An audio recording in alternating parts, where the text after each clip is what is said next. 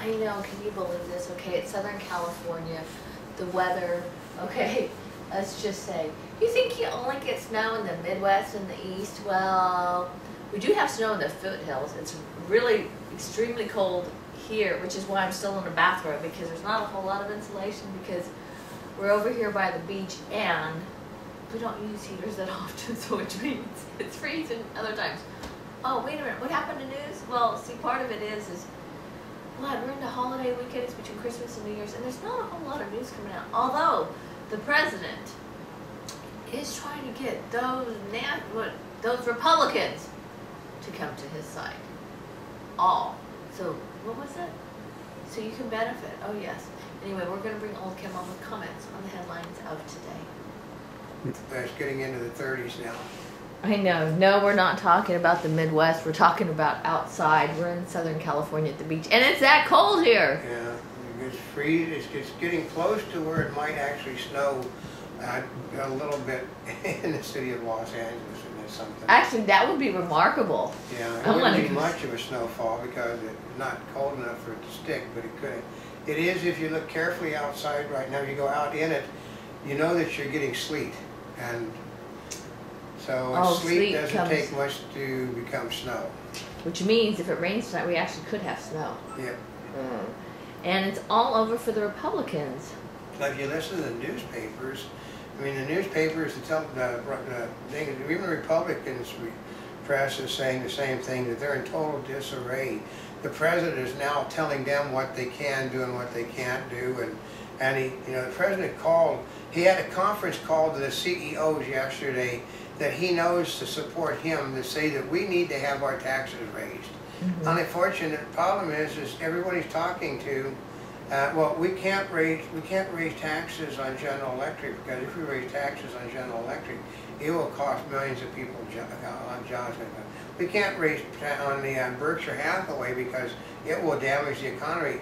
Everybody that he called basically hasn't paid taxes or would get exemptions under Obama's rules, so because they're too important, uh, you know. the- Yeah, and what about the regular person on The- the, yeah. the little guy that has the kiosk at the shopping mall, he's not important.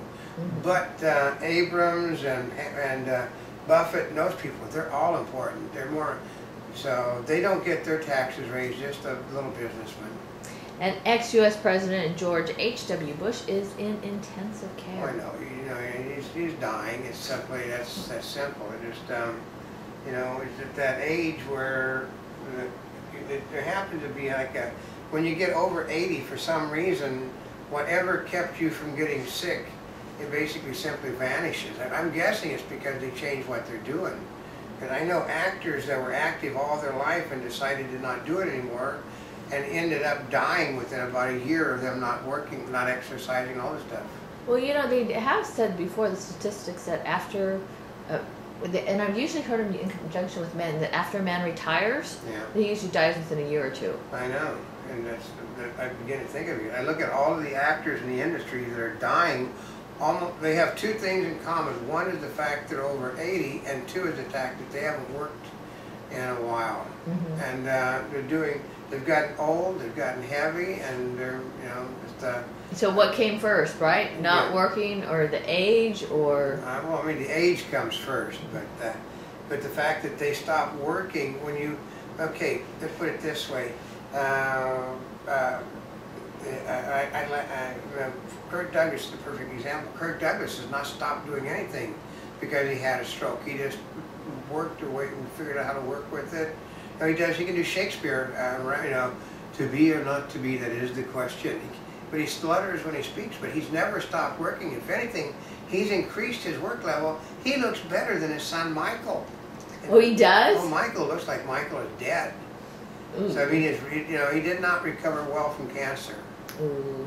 And U.S. retailers scramble after lackluster holiday sales. Well, no, the President of the United States said that there was a great holiday. They put all these things out, 14% growth, and then it turns out they had 7 tenths of a percent growth, which is disaster. And then the fact that they had all of these things that you're only going to be able to get this merchandise for this price now and not after Christmas. So what's happening is a lot of stores are discounting that price by as much as two-thirds because they thought they were gonna be hot, they weren't. So guess what's happening with litigation now? Mm. They want, But that's always been the case after Christmas. ah, but this time they weren't price matching. Ah. Uh-huh. They basically, these companies said, we're not gonna match our before Christmas prices after Christmas.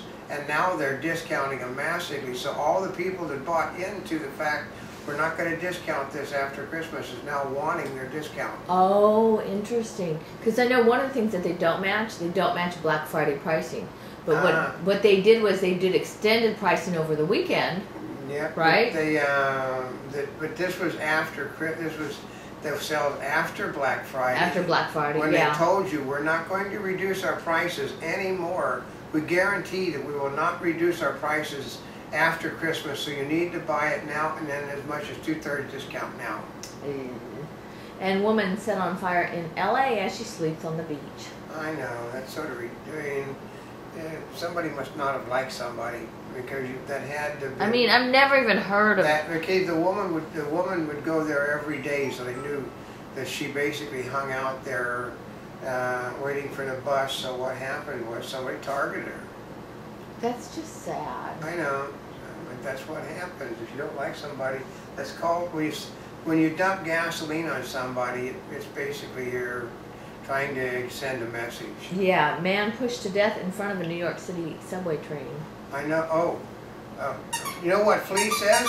They're going to have to stop, they're gonna have to put new legislation in for subway trains because this is multiple deaths by subway train and unfortunately, subway trains are becoming as dangerous as handguns. So very soon, you're not gonna be able to ride subways because the Democrats are going to put legislation out to prevent people from being killed. Oh gosh. Yeah, pretty soon they'll lock everybody up in their homes so they won't get killed by being out of their homes. No, but they won't be able to drive because Obama, in order to, uh, he, he's going to turn our country green no matter what. They've now, they said by, by uh, presidential executive order, he can order that you have transponders put on every, every automobile in the country so that they can charge you a tax for driving more than what he thinks you should drive. And that, you Yeah. know, they put, they'll, he said that will help build, said the Republicans are responsible for this because they won't provide the money that, he wants to spend another, another trillion dollars for road work and stuff for unions. And it ain't gonna happen, and the ACLU is already on his butts over the tracking devices. Yeah, because you know what that does. Well, I mean, he's, he's, okay, uh, he is, everything that they say is bad about a Democrat is wrapped up in this president. And, and we're gonna, okay, you know what Flea Obama says? He said the president of the United States did not win the majority of the vote. He won the majority of the people that voted. There is a difference. You know, only thirty-seven percent of the people voted, and he won a majority of that. And it just happened that he actually got eleven percent less votes this time than he did the other time, but, uh, and, and ended up with a better percentage because of the fact that less people voted. And after Jackson, EPA faces big decisions on U.S. fracking boom. What? Oh, yeah, what? uh, fracking? Okay, they want, okay, they can, uh, they have, um, petroleum stuck in rock and they want to crack the rock to get the petroleum out. Democrats don't want it done. This is what a movie, uh, that basically, that, um, Matt Damon is pushing heavily. Oh, the Fr- Promised Land movie? Yeah, and they said that that's basically not going over well because a lot of Democrats are in states where they have tremendous uh, oil shale, and it's just, it just sits there. I mean, you, you, you basically, to separate the oil, there's no drilling, there's just ordinary mining.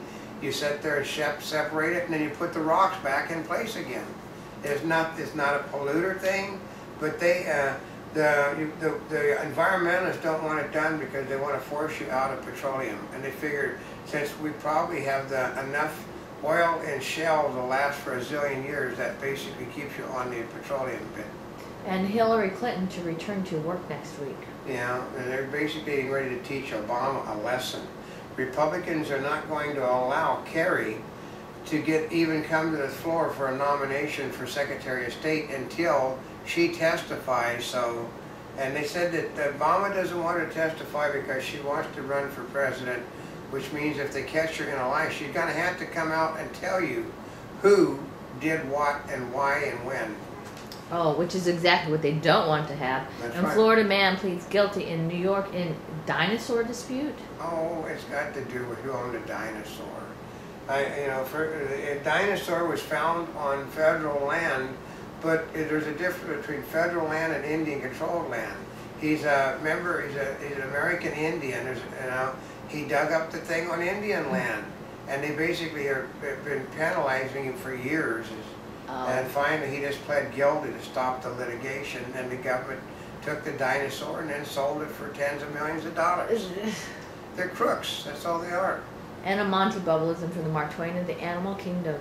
Uh, okay, he- uh, this one ju- said, just because it's supposed to work doesn't mean it will work.